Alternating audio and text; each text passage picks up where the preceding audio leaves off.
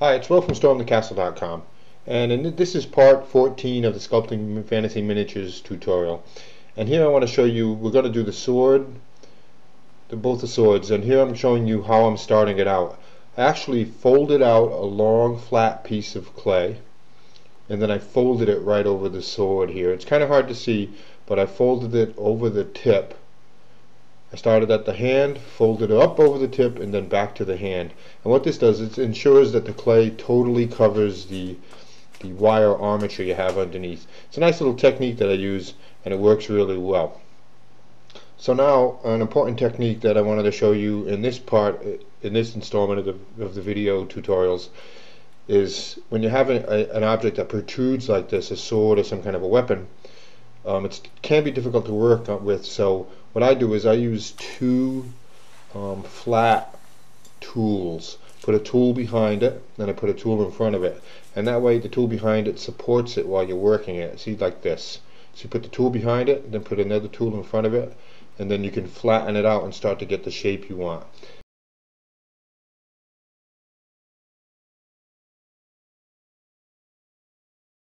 Now this clay is there's quite a bit of clay here. I will be removing a little bit as I go along, but I'm starting to make the sword get into the proper shape.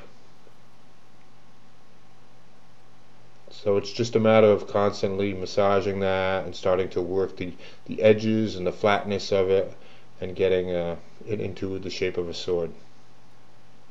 If you keep it reasonably straight, you won't have to worry about the wire armature sticking out at any point and that's why we folded it over. Now I've rolled out small pieces of clay and I'm going to be adding the guard to the sword. You simply put that on there and then press it in place and use a small sharp sharp tool to get it to, to stick really well. And then we can further work on the shape of that with um, various tools. Yeah, I'm using some tweezers here. I'm going to manipulate it and keep working at it until I've got it into a nice shape, a guard shape, uh, with the, with the quillions in each side.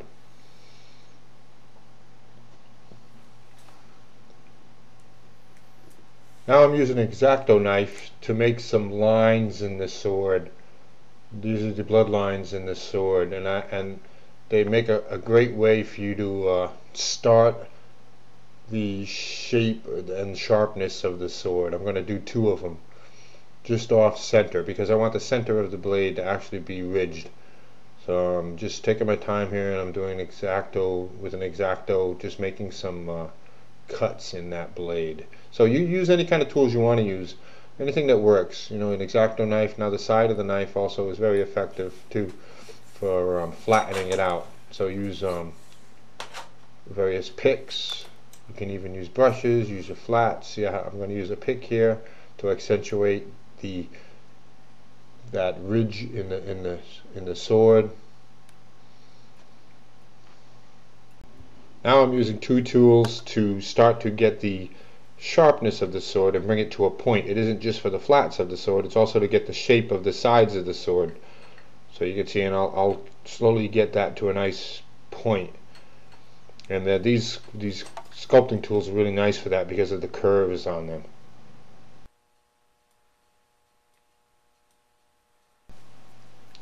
Okay, I went ahead and did the rough shape of the sword in, in her left hand uh, just because I wanted to get that in before the clay started to set, before the uh, polymer started to set, and I could work on it. But now I'm going to show you, I'm using the flat of the of an X-Acto here to get it nice a sharp look on this sides on the flats of this sword and I'm going to continue to work on that. And I'll show you but the side of an X-Acto knife here or the side of a tool can give you a nice flat look and Okay, the sword is starting to take shape and you can see that I'm using the major technique that you're going to be using a lot when you're doing something like this of making sure you have it supported behind.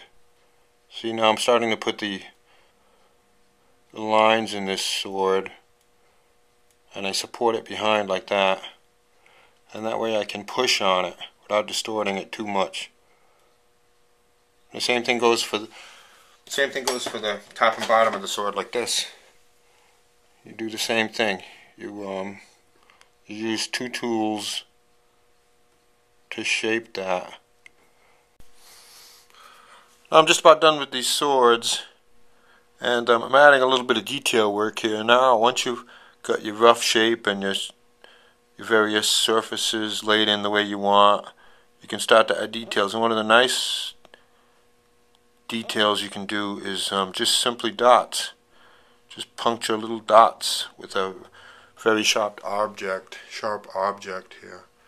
So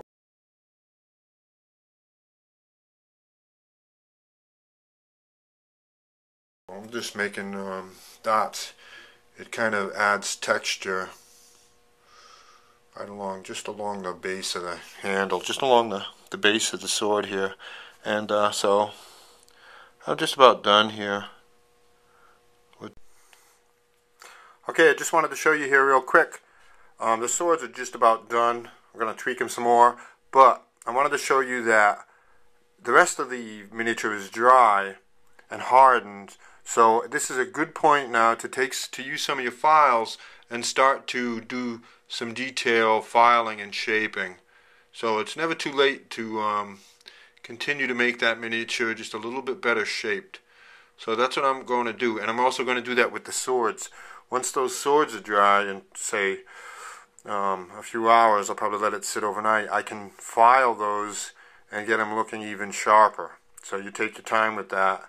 And so um, this, what I'm going to do is in the um, next chapter, I believe is the next installment, I believe is 15, I will um, prime it and paint it and then you can see it completed.